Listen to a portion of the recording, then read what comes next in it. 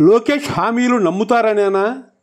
ఇవ్వగలం నవగళం ఆంధ్రుల గళం అంటూ ఎల్లో బ్యాచ్ విపరీతమైన హడావిడి చేస్తోంది. మీడియా మద్దతు ఉంటే ఏ స్థాయిలో ప్రచారం చేసుకోవచ్చనే విషయం ఎల్లో మీడియా హడావిడి చూస్తే అర్థమైపోతుంది. మయ ఉన్నది లేనట్లు లేనిది ఉన్నట్లుగా చూపించడంలో ఎల్లో మీడియా ప్లస్ టీడీపీది అందివేచన చెయ్యి. ఫార్టీ ఇయర్స్గా ఇండస్ట్రీలో చంద్రబాబు నాయుడు ఇలాగే నెట్టుకొస్తున్నారు. ఇక యువగళం పాదయాత్రలో తొంభై ఏడు నియోజకవర్గాల్లో మూడు వేల నూట ముప్పై రెండు కిలోమీటర్లు నడిచి బాధితుల కన్నీళ్ళు తుడిచినట్లు నారా లోకేష్ ప్రత్యేక ఇంటర్వ్యూలో చెప్పుకున్నారు. స్టాన్ఫర్డ్ యూనివర్సిటీ తనకు చెప్పని పాఠాలన్నింటినో తాను పాదయాత్రలో నేర్చుకున్నట్లు చెప్పారు. ఇలాంటి మాటలను లోకేష్ చాలానే చెప్పారు కానీ ఇంటర్వ్యూలో చెప్పిన కొన్ని విషయాలపైనే జనాల్లో అనుమానాలు పెరిగిపోతున్నాయి. అవేమిటంటే దారి తప్పిన పరిపాలనను గాడిలో పెడతారట. రాష్ట్రాన్ని అభివృద్ధి బాట పట్టిస్తారట.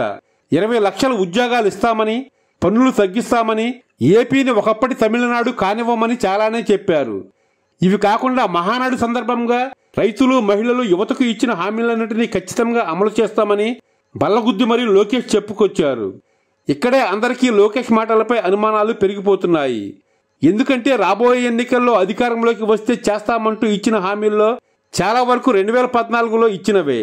రైతు రుణమాఫీ మహిళలకు ఫ్రీ గ్యాస్ సిలిండర్లు ఉద్యోగాలు లేకపోతే ఉపాధి పరిశ్రమలు తీసుకొస్తామని ఇలా చాలానే చెప్పారు. వీటిల్లో ఏ ఒక్క హామీని కూడా చంద్రబాబు నెరవేర్చలేదు. పైగా రుణమాఫీ హామీని సంపూర్ణంగా చేసేసినట్లు బుకాయించారు. చంద్రబాబునే నమ్మని జనాలు ఇప్పుడు లోకేష్ హామీలను నమ్ముతారా అన్నదే ప్రశ్న. ఎందుకంటే తాము హామీలిచ్చి అమలు చేయింది ఎప్పుడో ఇరవై ఏళ్ళ క్రితం కాదు. మొన్న రెండు వేల పద్నాలుగు పంతొమ్మిదిలోనే అన్న విషయాన్ని తండ్రి కొడుకులు మర్చిపోయినట్లున్నారు. హామీలను అమలు చేయడంలో చంద్రబాబు ట్రాక్ రికార్డులు జనాలందరికీ తెలుసు. రెండు వేల పద్నాలుగులో ఇచ్చిన హామీలన్నింటినీ అమలు చేశాం కాబట్టి రెండు వేల ఇరవై నాలుగు ఎన్నికల్లో కూడా హామీలను అమలు చేస్తామని లోకేష్ చెప్పడమే ఆశ్చర్యంగా ఉంది.